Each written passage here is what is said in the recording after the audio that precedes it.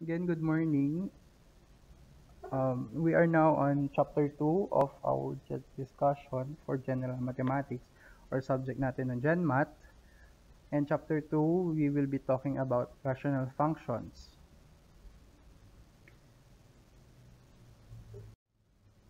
So, if you would recall, nung grade 10 tayo, actually, nasa second quarter ata to ng grade 10, na-discuss natin kung ano ang definition ng isang polynomial function, which is a polynomial function of degree n is a function that can be written in the form, as you can see, an x raised to n plus an minus 1 x raised to n minus 1 up to a 0 where yung mga a, sila po yung coefficients, n is a positive integer, and bawat term or bawat ina-add dyan is a term of the polynomial function. Yung leading coefficient is yung coefficient ng pinakamataas na power ng x or yung coefficient ng term na may pinakamataas na power ng variable x kung variable x ang ginagamit dun sa function. Leading term ang tawag dun sa mismong pinagsamang um, leading coefficient at saka yung term or yung variable na merong pinakamataas na exponent. Yung constant term, A0, is yun po yung term na wala siyang variable x or free of variable x. Constant lang siya. Number lang. This time, ang pag-aaralan natin is rational functions. When we say rational function, from the word ratio, rational function. From the word ratio, ratio naman siya ng polynomial functions. A rational function is a function of the form f of x equals p of x over q of x where both px and q of x are polynomial functions. So, kapag pinag-divide natin ang dalawang polynomial functions, makakapag-form tayo ng rational functions. So, division is also ratio. Kaya nga rational function from the word ratio. Okay, but there is an important thing to remember here. Yung nasa denominator natin or the q of x na function, yung nasa baba po, dapat hindi po siya zero function. That is, it is should not be equal or equivalent to zero. Okay. At ang domain ng function f of x natin, natin or yung rational function natin is lahat ng values na hindi magzi-zero si q of x. Why? Kasi kapag 0 po si q of x, of course, that is division with 0. Parang nagde-divide tayo ng 0. And we all know na mortal sin po yan sa math. Hindi po tayo pwedeng mag-divide ng 0 because we get an undefined or undetermined sorry, undefined um, function or expression. So, ang domain is anything or all values ng x na dapat hindi mag-0 yung q of x. Yun po yung domain. Sir, okay lang ba na mag-0 yung p of x? Yes. Kasi ang p of x, pag nag-0, nasa numerator po yan. And 0 divided by any number is still 0. No? Okay lang po na mag-0 yung numerator or yung p of x, yung nasa taas. Pero yung q of x, yun po yung iiwasan nating maging 0. Okay, for example, meron tayo ditong word problem. Ang sabi, an object is to travel a distance of 10 meters. Express the velocity v as a function v of t of travel time t in seconds. So, kikreate daw tayo or mag-express tayo ng function or express natin yung velocity as a function of time. So, v of t. Okay, hindi, hindi, hindi x ang variable natin this time. Variable natin this time is t because velocity is a function of time. And we all know, di ba, that velocity is equal to change in position or displacement all over time. But if we are referring only to the magnitude or we do not consider the direction, pwede natin sabihin that velocity is equal to distance all over time. So as you can see here, function siya. Si velocity ay function ng time. Ibig sabihin, si velocity ay na kadepende sa time. And we can express that as a v of t equals d all over t. And since ang distance natin is given naman na 10 meters, substitute po natin iyan we get v of t 10 all over t and of course the unit is meters per second kasi meters naka-meters yung distance, naka-seconds po yung time. So ito po actually yung function v of t and as you can see it is a rational function kasi ratio siya ng dalawang polynomial functions. And kapag grinaph nga natin yan, ganito po yung magiging itsura. Ay, okay. Sorry. Burahin ko yan.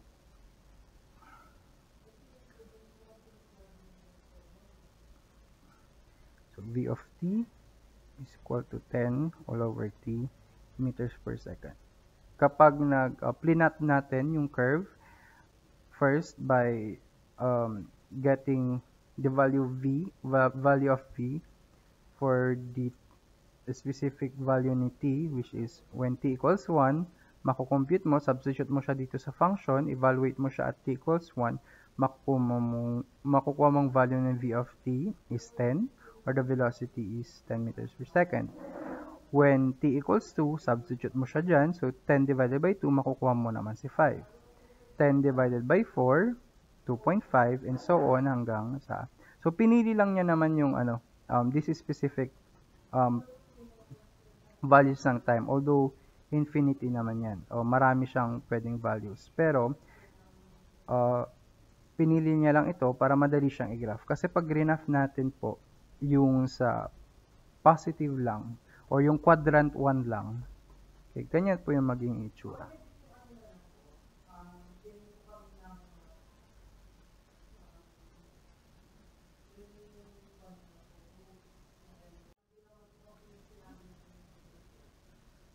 So we have a another example here. Sabi niya, given na yung function. Suppose that C of t equals 5 over t all over t squared plus 1 milligrams per milliliters represents the concentration of a drug in a patient's bloodstream t hours after the drug was administered.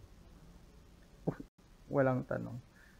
Ang gagawin natin is i-graph daw natin itong function na to. Kasi given naman na yung function ang gagawin is hanapin natin yung graph. So basically, pag napapatay ng graph, especially if hindi naman tayo familiar sa magiging itsura, no? unlike kapag circle, ellipse, parabola, hyperbola, yung mga ganun, meron silang standard equations na tinatawag. So this is a rational function. So the best way, if you are not familiar kung anong magiging itsura ng graph, is mag-plot ka. Ibig sabihin, mag-set ka ng values ni t and then for each value of t, you evaluate the value of c of t. Ibig sabihin, i-substitute mo lang. Yung values ni t, ikaw ang bahala kung ano ang gagamitin mo as long as mag-graph mo siya ng tama, as long as ma-evaluate mo siya. So, dito, ginamit niya yung values ni t from 0 to 10. Okay? Sir, pwede bang mag-negative? Of course, walang negative dyan kasi time yan, no? As much as possible, if time is concerned, time is progressive, di ba?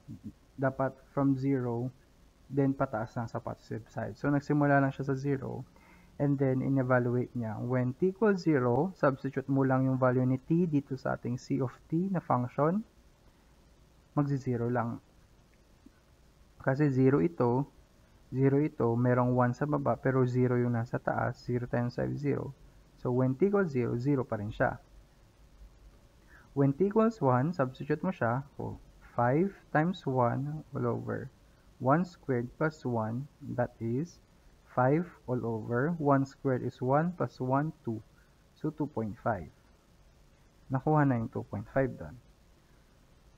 Uh, when t equals 2, 5 times 2 all over 2 squared plus 1, that is 5 times 2 is 10, divided by 2 squared is 4 plus 1, that is 5, so that is equal to 2. Kaya nakuha yung 2. So again, itong mga values ni t, 0, 1, 2, 5, 10, uh, pinini ko lang yan, no? You can choose other. Uh, kung gusto mo, dahan-dahanin mo siya, pwede mo siyang dagdagan kung gusto mo para mas ma-define ng mabuti yung graph mo. Pwede mo siyang dagdagan ng ah sorry, 1, 2, 3, 4, 5, 6, 7, 8, 9, 10. Nasa naman. As long as mapakita natin yung graph. And then the process continues and is repeated for the different values of t. For t equals 5, ganun din, din po yung nakuha natin. So, uh, ni-round off niya lang ito up to 3 decimal places. Si 10, ganyan din po. And when we plot that, siguro naman alam na natin mag-plot sa Cartesian plane.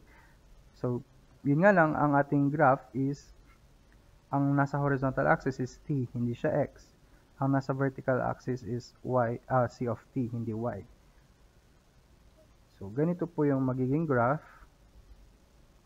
And then, naka-highlight or naka-emphasize yun pong mga points na ginamit natin, 0, 1, 2, 5, and 10. Ayan, nandito sa 0.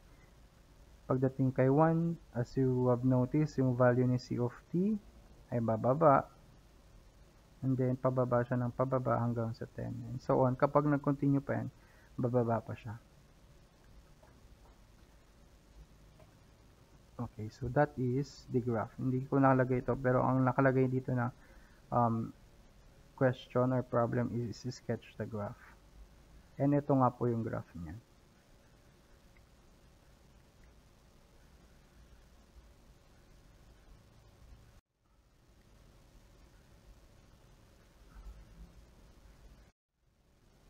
Okay, another ano, another example.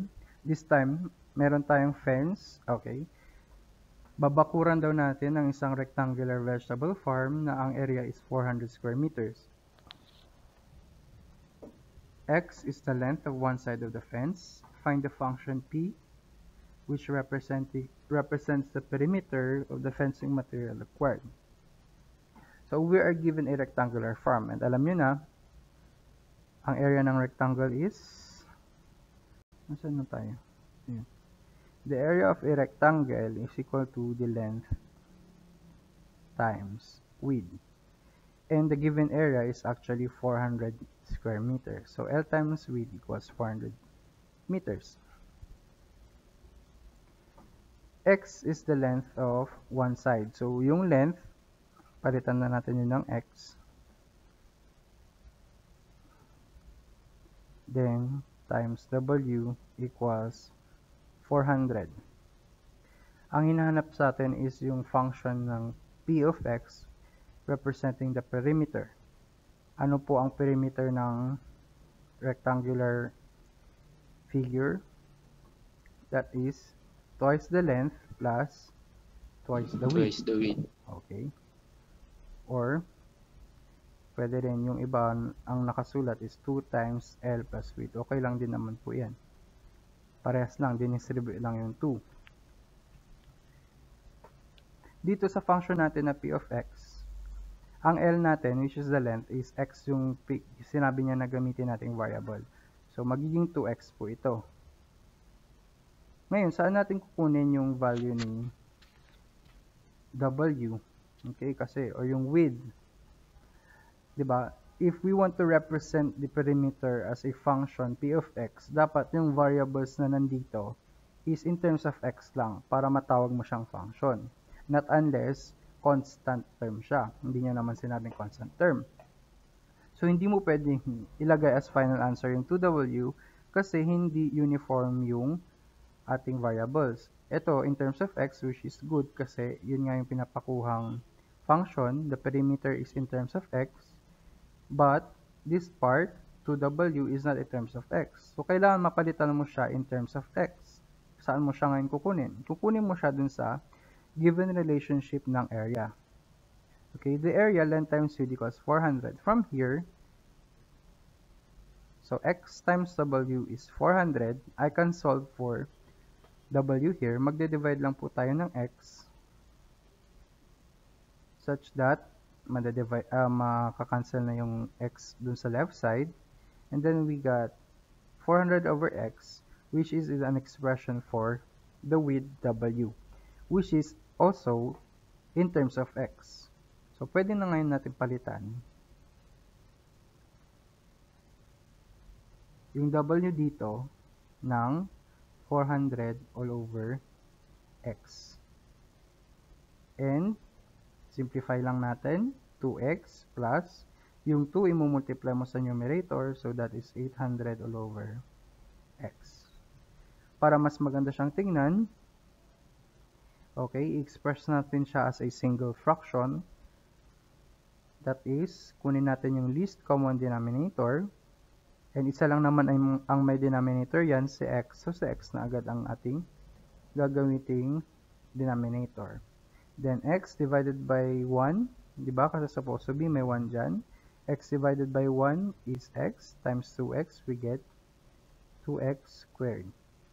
And then, dun sa second fraction, x divided by x, 1 times 800, of course, that is 800. So, ito na ngayon yung function natin. p of x in terms of x. We have 2x squared plus 800 all over x. Yan na po yung sagot natin.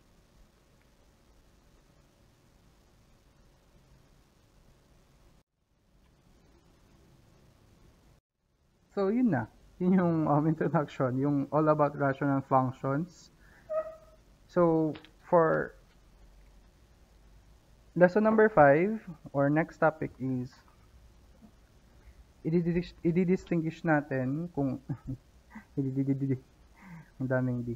I-distinguish natin kung ano ang rational function, ano ang rational equation, ano ang rational inequalities, ano ang rational expression. So magkakaiba sila pero lahat 'yon it involves rational expression. So, pag sinabi po natin rational expression, anything that has, that can be written as a ratio of two polynomials. Ibig sabihin, ang rational expression is my ratio ng two polynomials. Rational. So, for dito, nasan dito yung mga rational expression? Yung una, this one, number one, of course, x squared plus 3x plus 2 is a polynomial function, specifically a quadratic equation polynomial siya. x plus 4 is a polynomial function. So, since it is a ratio of two polynomial functions, this expression as a whole is a rational expression. 1 all over 3 squared, 3x squared is also a rational expression. Although, sabihin, baka sabihin nyo, yung numerator po 0, ay yung numerator po 1, hindi naman po yan polynomial function. No, polynomial function pa rin yan. Okay, remember yung polynomial function, hindi lang hindi lang laging merong variable, 'di ba? 'Di ba sa dulo nun meron tayong tinatawag na constant term. So itong function na to na 1 lang, constant term lang siya. Okay, ang degree niya is 0. Or yung n niya 0. Eh x raised to 0 nagiging 1. So, hindi porket constant or hindi porket nakita nyo na wala siyang variable na x is hindi na siya polynomial. Polynomial function pa rin siya.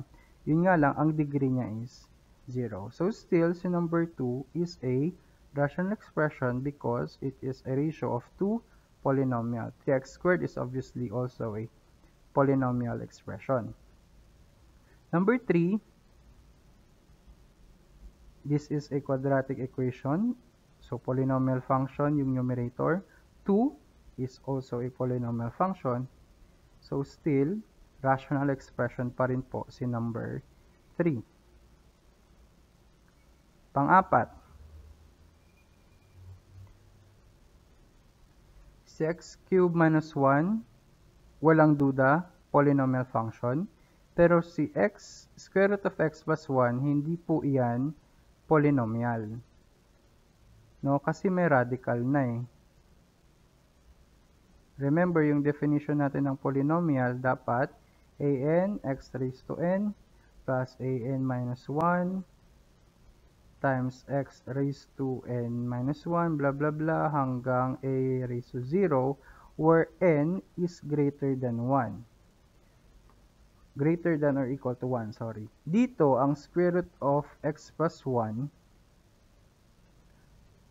that is also equivalent to x plus 1 raised to 1 half. Ang exponent niya, n, na 1 half, that is less than 1.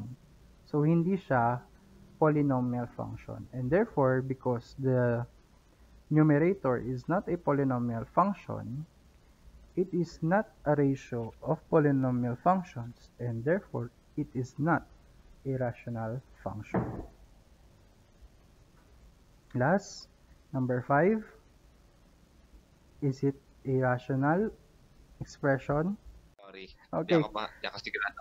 So medyo merong confusion dito for number 5 kasi hindi natin alam kung nasaan yung main division line pero ang alam ko ang main division line natin is nandito.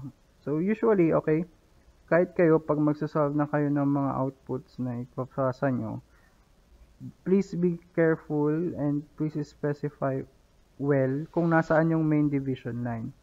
Habaan nyo yung main division line.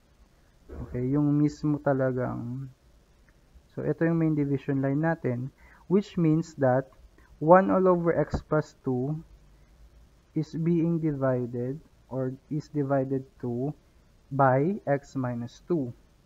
And by division, that only means na when we divide fractions, what are we going to do? We proceed to multiplication. However, i-reciprocate natin yung divisor. So, that is 1 all over x minus 2. And if we proceed to, to multiplication, 1 times 1, numerator times numerator, that is 1. And then, x plus 2 times x minus 2. So, pag sinimplify mo itong uh, expression na to, magiging ganito siya. So, ano ito? Rational o hindi rational? Uh, rational? Rational, Rational. siya. So, so still, number 5 is a rational expression. So, wag tayong papaloko, no? I, i, as much as possible, kung pwede, i-simplify mo muna yung expression. So, the expression is a rational expression. Okay, bakit ba kasi importante kung ma-define ma or ma-distinguish mo kung rational expression siya o hindi? Kasi ang rational functions contains rational expression. Rational equation and rational inequalities contains rational expression. So, dapat dun pa lang, ma-distinguish mo na kung rational expression siya. Before proceeding with the three, yung sinabi ko, um, function, equation, or inequality. So, ito yung ano, distinguishing features or kung paano natin ma-distinguish ang rational equation sa inequality at sa function. Basic lang naman kasi lahat yan merong rational expression. Si rational equation, apaka-basic ng pagkaka-define niya. So, as you can see dito sa example, meron siyang rational expression. And of course, equation, di ba? Equation, meaning, dapat may equal sign. Ayan. Ito ay isang example ng rational equation. Rational inequality, on the other hand, inequality, dapat merong inequality symbol or sign. Ano ba yung mga inequality symbol natin? Greater than, less than, greater than or equal, less than or equal. So, pag nakita nyo itong apat na to, rational inequality siya. Inequality siya. And of course, dapat meron pa ring rational expressions. Okay. And lastly, ano naman yung rational function? Sir, may equal equal sign din lang naman siya, sir. Hindi ba dapat rational equation din siya? Hindi. Ang rational function is a, of course, ratio ng polynomials. Ito, rational expression siya. And on the other side of the equation, meron tayong iba pang variable or yung mismong variable natin na f of x or yung y. So, matatawag mo siyang function kasi y or f of x is a function of x. Hindi kagaya nito, dito sa rational equation kasi, pwedeng hindi variable yung nandun sa kabilang side. Para maging rational function siya, dapat ini-express mo siya explicitly na magkahiwalay yung f of x or y, nandun siya sa kabilang side ng equation, tapos sa kabilang side, nandoon po yung rational expression. Kasi baka sabihin nyo, parehas naman silang may equal sign. Of course, parehas yan. So, does that mean, sir, na lahat ba ng rational equations, rational function din? Depende nga kung yung kabilang side is isang variable or other variable, variable other than x, which is a function of x. Pero kung ang nakita mo, for example, napalitan to, na hindi yan y, ang nakita mo is 1 fifth or 3, o hindi yan variable, tama? So, mabagsak niyan, hindi na yan magiging rational function. Babalik ka na dito sa rational equation. Pero kung nakita mo y yan or f of x, either of the two, usually ito naman talaga ang dalawang ginagamit, or pinapalitan yung letter lang ng function, function siya. Maliwanag po ba tayo? Paano natin madidistinguish? Sir, meron bang ano, rational function na inequality? Pwede rin po yun. Meron din naman pong ganyan. So, anong tawag sa kanya, sir? Rational function pa rin. Pero hindi lang inequality yung gamit na uh, tawag nito, na symbol. Or hindi lang equality sign ang ginamit niyang symbol.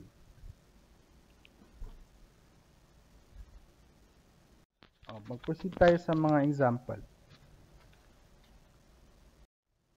Ayan. Ay, nakalimutan kong tanggalin yung sit work. Hindi ito sit work. Determine whether the given uh, ano, given is a rational function, rational equation, rational inequality, or none of these. Si letter A, ano po siya? Function, equation, rational inequality, o none of these? Function. Function, of course. Kasi, yung kabilang side, ibang variable or y, wherein y is a function of x. So that is a rational function. How about letter B? Rational? For inequalities. Yung symbol sa Equation. gitna. Equation. Kasi yung symbol sa gitna, equal sign. So, hindi na yun inequality. Kasi equal sign nga, di ba? Ngayon, pagpipiliin mo na lang kung function or equation. Eh kaso, hindi naman siya function kasi hindi naman siya in-express as other variable dun sa kabilang side. So, this is a rational equation. For letter C, rational function, rational equation, rational inequality, none of these. None. None, Equation. none of these. None? Yes, kasi una sa lahat, yung None? nasa left-hand side ay hindi yan rational expression, di ba? Isa siya- Yes. radic- radical Okay. yan. So, none of these yan. Kasi kung dun pa lang na-identify mo na, so hindi na siya pwedeng maging ganito, maging rational function, rational equation, rational inequality, kasi wala naman siyang rational expression. Again, di ba, requirement yon Kaya nga, dinistinguish natin kanina. Yang tatlong yan, dapat may rational expression. Kung wala, hindi siya magfo-fall dyan sa tatlong binabanggit natin. So, letter D, equation, function, or inequality, none of these. Equation. Equation. Ayan. Letter E, None of it. I None. of nalilito na sila. ah, pag unang tingin mo, ah, ano. function kasi may y sa kabila. Pero tig tignan mo ba, rational expression ba to? Polynomial ba yung numerator and denominator mo? Denominator, polynomial, oo. Eh, itong numerator, is it a polynomial function? Hindi, kasi may radical. Okay, hindi porket may kasama siyang 7 cube, pasok. Remember nga, sa polynomial functions, ang exponent niya ng x, na variable x, should be greater than or equal to 1. And again, yung square root of x, ang exponent niyan, that is also equivalent to x raised to 1 half, and 1 half is less than 1. So, hindi niya masasatisfy yung condition para maging poly- polynomial function siya. And therefore, the numerator is not a polynomial function, and because of that, this is not a rational function. Although hindi siya mukhang, ah, although mukha siyang function, no? Kasi biglang tingin mo, may y equals na. Okay, tignan mo muna yung major requirement talaga bago mo ma-distinguish dun sa tatlo kung function, equation, or inequality, is first determine if it is a rational expression on the first place. How about for letter F? Inequality. Inequality. Inequality. Yes. Isa lang naman pupuntahan yan kasi may inequality sign tayo. So that is a rational inequality. So maliwanag po tayo sa tatlong yan. Ayan. So last lesson na tayo. Hindi, actually meron pang part 2. Pero this time, for lesson number 6 naman, still under rational functions, is we are going to solve rational equations and inequalities. So ito yung medyo kailangan nating uh, doblehin ang attention kasi magsusolve na tayo. For example, so unahin natin ang mga equalities or equation, rational equation. I-solve daw natin itong 2x minus 2 all over x minus 3 all over 2x equals 5, 1 over 5. Rewrite ko lang dito sa baba. Apakapangit ng sulat ko. Okay, equals 1 all over 5. Kapag equation yan and rational function, rational equation, sorry, ang una mong gagawin is mag-multiply ka or eliminate natin yung pagiging rational function niya. That is, we have to express this as a single function, single rational expression dun sa left hand side or one side, tapos sa kabila is nasa zero. Ayan. Ah, I'm sorry. Ang una pala natin gagawin is eliminate yung numerator, yung pagiging fraction niya or rational niya. So, mumultiply natin ng certain, kunin natin yung least common denominator nila.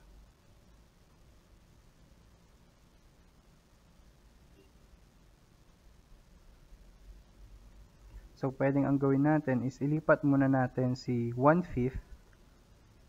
So, from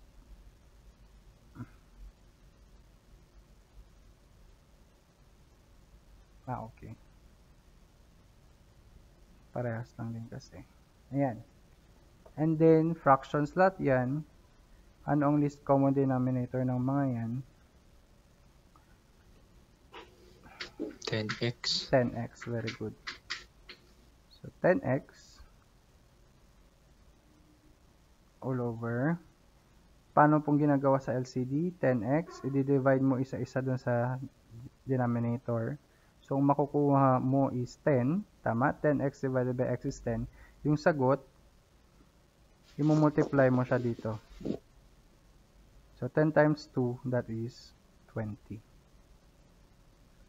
Minus, sa kabila naman, 10x divided by 2x. Ang sagot, 5 15. times 15. 3, you get 15. 15. Okay, and then, lastly, dito sa 1 fifth, ah, negative yun na, negative 15 kasi negative 3. So, 10x divided by 5x, 2. 2x, 2x. 2x. 2x. Okay, times 1, Negative 2x. okay, negative 2x. 2x. Very good. Negative 2x. Purahin ko lang para. Baka nito. Ayan. Oh, may cancellation. Equals 0. Divided by. Pwede ako mag-multiply ng 10x both sides. Para, Aha. pa- para lang mawala yung denominator. And kapag nag-multiply naman ako both sides, wala akong vina-violate na rule. Kasi kung anong ginawa ko sa left side, yun din ginawa ko sa right side. So, makakancel na po itong 10x dito kasi 10x all over 10x yan. Matitira na lang is 20 minus 15 minus 2x.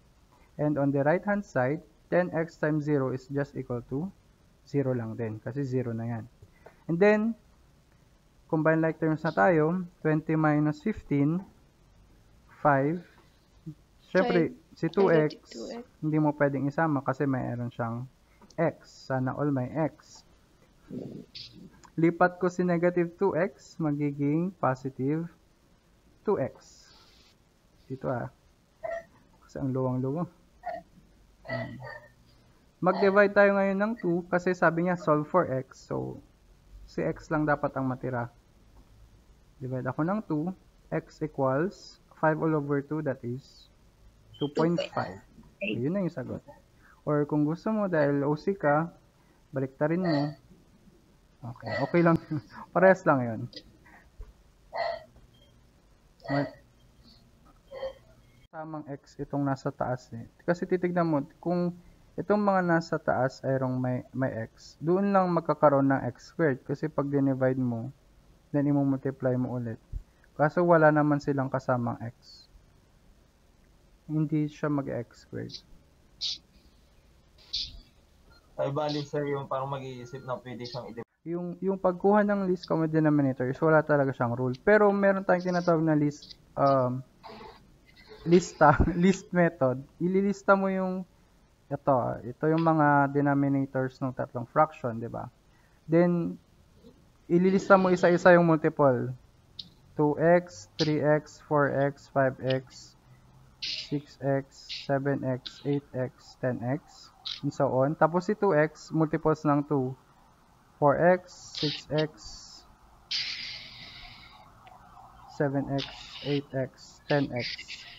So, yung unang ano, magkapareha sa kanila. Ah, sorry, sorry, hindi kasama si 7x. 8x, 10x. Yung unang magkapareha sa kanila, yun yung pipiliin mo. Sir, hindi mo ba i-consider yung 5? Hindi na, kasi anything naman na i-divide mo kay 5, eh, okay lang naman. Um, a- a- a- a- ang, ang, ng ano, common. ang iko ang iko ang i-consider mo lang kapag constant siya is yung coefficient lang natin. Kasi pwede pang may iba, no? Pero pwede pa, pwede pa ang 20x. Pag 20x, pag dinivide mo kay x, 2x, and 5, pwede pa rin naman. Pero hindi yun yung least.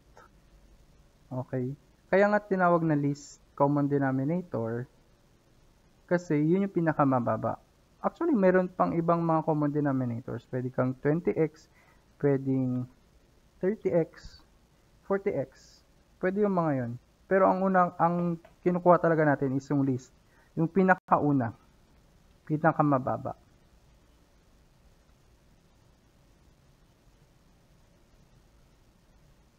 Thank you, sir. Sige.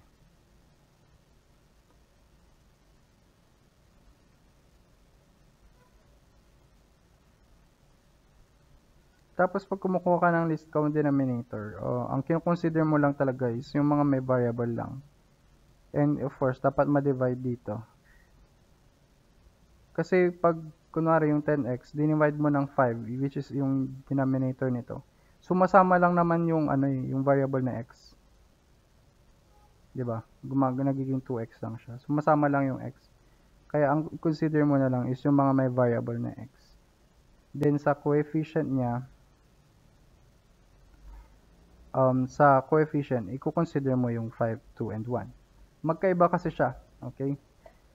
Una, i-consider mo yung coefficient. Pangalawa, yung mga variable. Kunwari, uh, naiba yan. Kunwari, x squared, tapos 2x, tapos 5. Ang una mong titignan is yung least common denominator ng mga, ano muna, least common multiple ng mga variables. So, ang least common multiple ng variables is x squared. Kasi susunod dito, x squared, x cubed, ganon. And then, saka mo titignan yung least common multiple naman ng mga coefficients. Dito ang coefficient niya 1, tapos ito 2, tapos ito 5. So, 2, 4, 6, 8, 10. 1, 2, 3, 4, 5 hanggang 10. Tapos ito 5, 10. So, ang pinakamababa na multiple nila is 10. Kaya 10x squared. Kung x squared ito.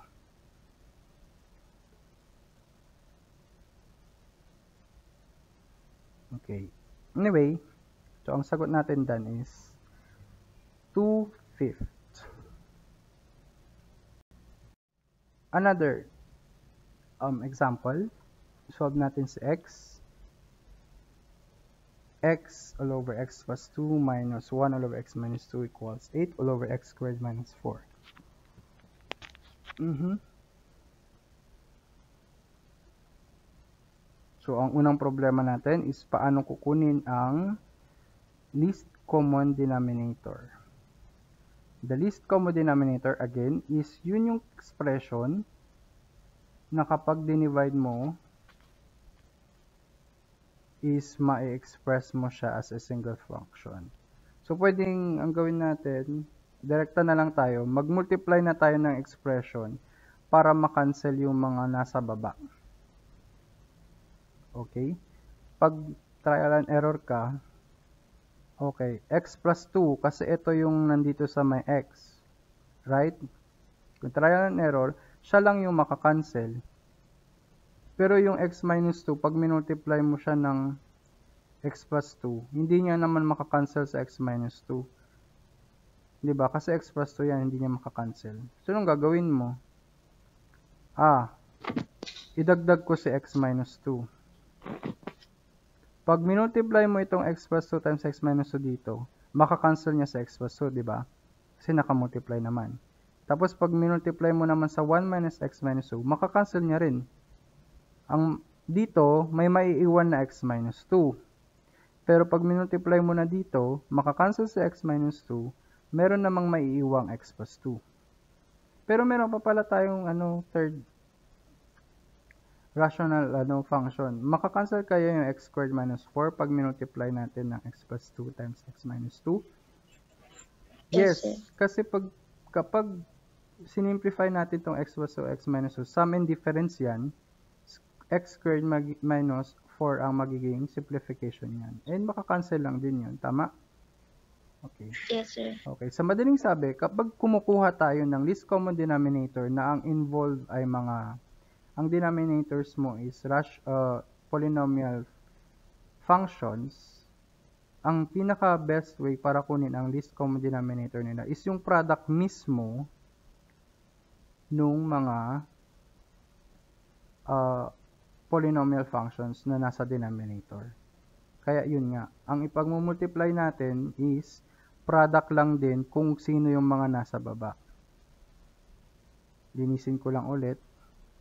Kaya ang i-multiply natin is binura ko pa no, babalik ko lang din. x plus 2 times x minus 2 sa left side. x plus 2 times x minus 2 sa right side.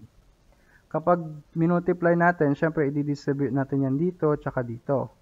Okay, pag dito sa unang um, rational function, uh, rational expression natin, ang makakancel si x plus 2. Ayun. Therefore, ang may matitirang x minus 2 sa taas. So, x times x minus 2. Minus, kapag dito naman siya sa 1 all over x minus 2, ang makakancel naman is yung x minus 2. Ang matitira naman is 1 times x plus 2. Or, pwede mo nang tanggalin si 1 kasi kahit ano namang minultiply sa kanya, yun lang din. On the right hand side, si x plus 2 times x minus 2 ay equal lang po sa x squared minus 4. So, pag minultiply mo yan dito sa right hand side, makakancel itong x squared minus 4. Ang matitira na lang sa kanya, 8 na lang. Kasi x squared minus 4 times x minus x divided times x squared minus 4, mali, x squared minus 4 divided by x squared minus 4 is 1, and 1 times 8 is 8. Then, pwede na po tayo mag-simplify. Distribute po yung x, x times x, x squared, X. x times 2x or minus 2x, negative, Negative 2x. Yung negative sign, kagaya nga ng sabi ko, pag nag-multiply tayo, Distribute. wag nyong wag nyong kakalimutan ang parenthesis pag meron kang negative sign or subtraction yung nasa gitna. Kasi mamamali ka pag ganyan lang.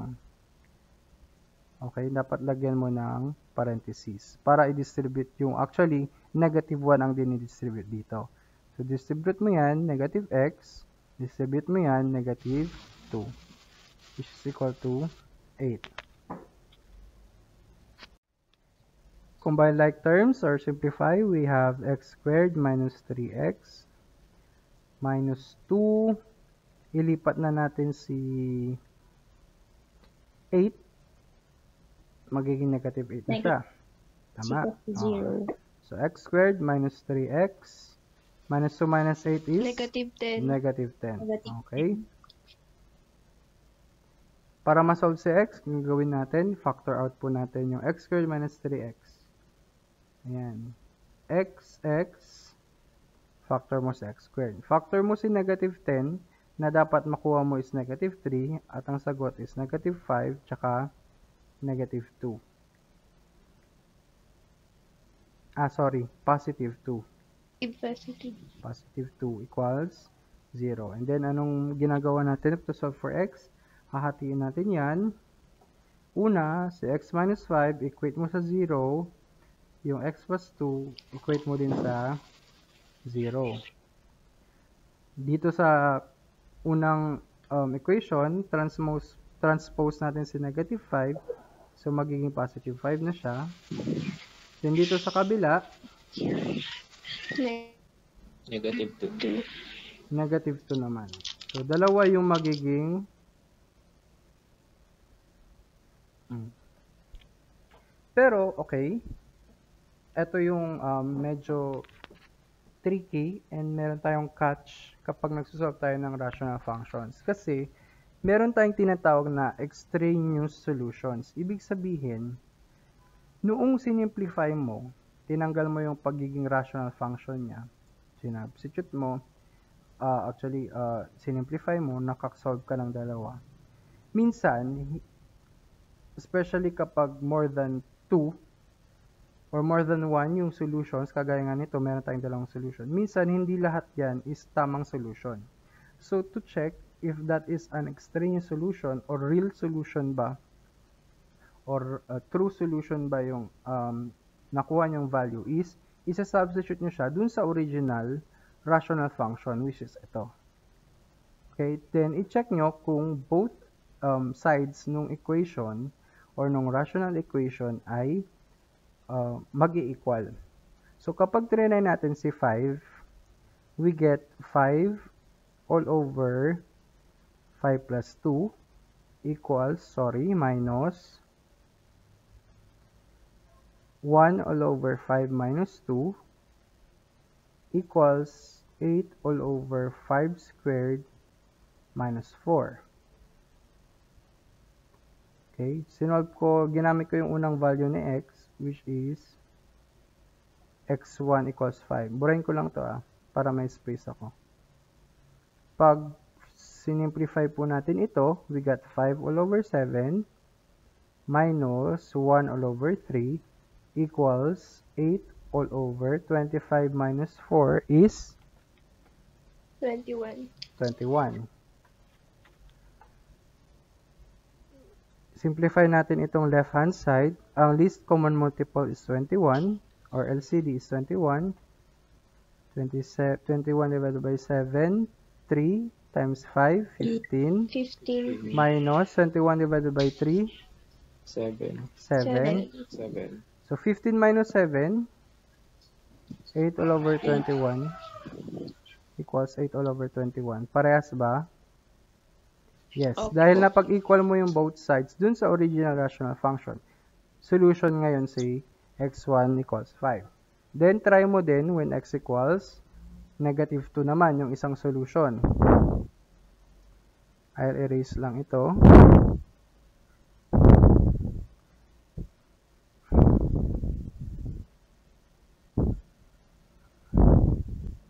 So, ang magiging kinalabasan is negative 2 all over negative 2 plus 2. Okay, dun pa lang nakita nyo na negative 2 minus 2 equals 8 all over negative 2 squared minus 4. Negative 2 plus 2 is, ano, 0. 0. Oh. And magiging negative 2 divided by 0 yan. And this is an Undefined. undefined yan. Undefined. Okay? Ibig sabihin, hindi pwedeng maging solution cx2 na negative 2. So, hindi kasama si x equals negative 2. No? So, So, wag muna tayong titigil kapag na-simplify natin, natanggal yung rational and nag-solve tayo. Kailangan i-check muna natin kung true solution ba, kung totoong solution. Ang tawag dito kay ano is extraneous solution. Kasi, oo, nung sinimplify mo, nakuha mo siya as a solution, pero nung sinubstitute mo siya dun sa original rational equation, undefined na or hindi na equal. Minsan hindi rin nag equal yung left and, hand, left and right hand side ng rational equation. So, extraneous solution ang tawag. Hindi na kasama si negative 2. Ang sagot lang natin is x1 equals 5. Maliwanag po ba? So, these are examples for rational equations. Let's try sa inequality naman. Ay, hindi pa pala. Meron pa palang isang example. Ala, natapos na. Uy, hanggang 12.30